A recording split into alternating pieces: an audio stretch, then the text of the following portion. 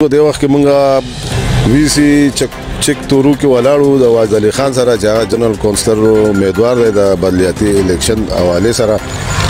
او دین موږ سو ته پوښتنه کوو چې تاسو الیکشن په څه سوچ کوي او تاسو مخکې اراده سي السلام علیکم وعلیکم السلام بس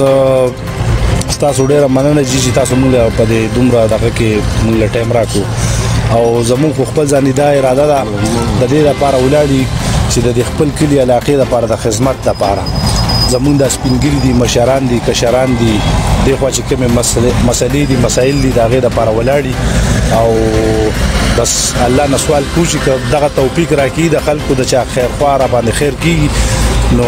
الله پاک دې مخه په لاس راکړي موږ الحمدلله زموږ خو چې په کلی کې څه خبر راغلی دا کده چا منډه تړل دا کده چا د هسپتال پورې خبره ده که داسې سنور منډي ترړي دي کده بجلی په حواله سره دي کده لاري کوسي په حواله سره دي الحمدلله موږ منډه والده خپل کار کړی دی په غریب غریبه کې موږ منډي والدي خدای نه علاوه اوس د کلی د مشرانو په فیصله باندې چې یاره بس مولا خدای پاک داسې یو زه د دې ټولو کشر ما خو د مشرانو په خوخه باندې ولاړی دي چې دا الیکشن هم د خیره سره وشي او دا منډه تر لاسه بس تاسو وخه داغي پرای باندې مونږ ولاړی الحمدلله دا خو د ټیم خبره خو داسې ده چې مونږ شپګرونه یې الحمدلله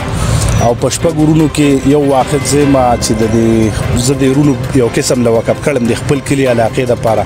چې بای بس تاسو د دې سره منډې ترړې وي تعلق او غب شپ او هر ځای باندې ورتلې شي تانا تحصیل اړ یو کار کول شي نو د دې د پاره زه د رونو په خوخه باندې او بس مونږ وځي سن سي بینو هغه په الله را رسینو مهنګای خو جوړی را زیاته ده په دې باندې سوال غواړم نو بس مهنګای خو مونږ وایي ارزان چې د خپل علاقې لرولونو موږ به سو د مهنګای په باره کې چې ډېر بد حالات دي نو زموږ په کلی کې دا مسایل دي چې د خو زموږ د علاقې ډېر زیاته یو خو د خو د روډونو مسلې دي بل خو د بجلی مسلې دي بل دلته هسپتال د سکول مسلې ډېر دي چې موږ ته